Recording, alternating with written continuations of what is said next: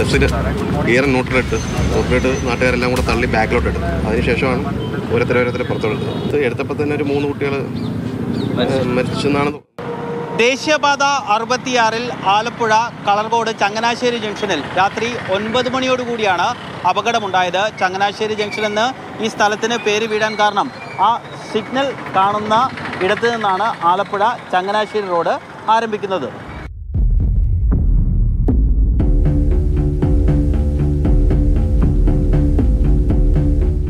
ആലപ്പുഴ ഭാഗത്ത് നിന്ന് കായംകുളത്തേക്ക് പോവുകയായിരുന്നു K S R T C bus. അപ്പുറത്ത് വണ്ടാനത്ത് നിന്ന് ആലപ്പുഴ നഗരത്തിലേക്ക് സിനിമ കാണാൻ എത്തിയതാണ് വിദ്യാർത്ഥികൾ.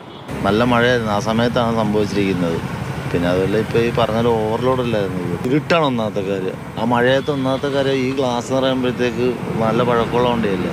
അതിന്റെ ആയിട്ടുള്ള ഇതും വണ്ടിക്കും കാണുമല്ലോ സി സി ടി വി ദൃശ്യങ്ങളിൽ നിന്ന് തന്നെ വ്യക്തമാണ്. കാറ് നിയന്ത്രണം വിട്ട് K S R T C ബസ്സിന്റെ മുന്നിലേക്ക് വന്ന് ഇടിച്ച് കയറുകയായിരുന്നു.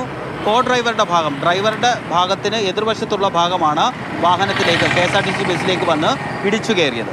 വണ്ടി ജാമായി കിടക്കുകയാണ്. പിള്ളേർ പിള്ളേരെ ഒരു രീതിയിൽ നമുക്ക് അതിന്റെ അകത്ത് എടുക്കാൻ പറ്റത്തില്ല. ബാക്കിലെ ഡോർ മാത്രം തോന്നുന്നുണ്ടായിരുന്നു ബാക്കിലെ ഡോറിൽ കൂടെ രണ്ട് കുട്ടികളെ പുറത്തിറക്കി. വണ്ടി ഓടിച്ച പയ്യന് ബോധമുണ്ട്. അവൻ പറയുന്നുണ്ട് ഞാൻ മെഡിക്കൽ സ്റ്റുഡന്റ് ആണ്. നിങ്ങൾ മെഡിക്കൽ സ്റ്റുഡൻസ് ആണെന്ന് പറയുന്നുണ്ട്. ഇടിയുടെ ആഘാതത്തിൽ കാർ പൂർണമായും തകർന്നു. നാട്ടുകാരും ഫയർഫോഴ്സും ഏറെ ശ്രമപ്പെട്ടാണ് കുട്ടികളെ പുറത്തെടുത്തത്.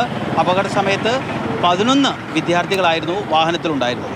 നാലുപേര് ഭയങ്കരമായ അത് കേട്ടപ്പോ അല്ലേ? എല്ലാം വെച്ച് വെച്ച് ജീവൻ അഞ്ചെണ്ണം പോയില്ലേ? ലൈവ് കണ്ടുകൊണ്ടിരിക്കുന്ന സമയത്ത് ഇവിടെ ഒരു അപകടം ഉണ്ടാകാനുള്ള സാധ്യതയില്ലെന്നുള്ളതാണ് ഞങ്ങളുടെ കണക്കുണ്ട് കാരണം കിഴക്കുന്ന് വന്ന് കയറുന്ന വണ്ടിയാണെങ്കിൽ അപകടം ഇതിന്റെ മുന്നിൽ ചാടാമെന്ന് വിചാരിക്കും.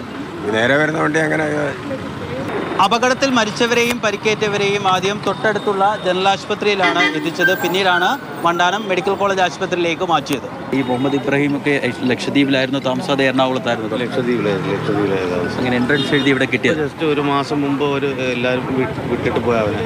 ഹോസ്റ്റൽ അഡ്മിഷൻ ആയിട്ടില്ല അങ്ങനെ. പ്രൈവറ്റ് നിർത്തി പുറത്ത് നിർത്തിയിട്ട് പോയതാണ്. അപകടമുണ്ടായ ചങ്ങനാശ്ശേരി മുക്ക് അങ്ങനെ ഒരു സ്ഥിരം അപകട മേഖലയല്ല ബ്ലാക്ക് സ്പോട്ട് അല്ല. പിന്നെ എങ്ങനെയാണ് ഈ അപകടമുണ്ടായത് എന്ന സംശയത്തിലാണ് നാട്ടുകാരെല്ലാം. അമിത വേഗതയും ഒപ്പം തന്നെ കാലാവസ്ഥയുടെ മോശം കാര്യവും ആകാം. അപകട കാരണമെന്നാണ് പ്രാഥമികമായിട്ടുള്ള നിഗമനം. രഘുനാഥ് നാരായണൻ മാതൃഭൂമി ന്യൂസ് ആലപ്പുഴ.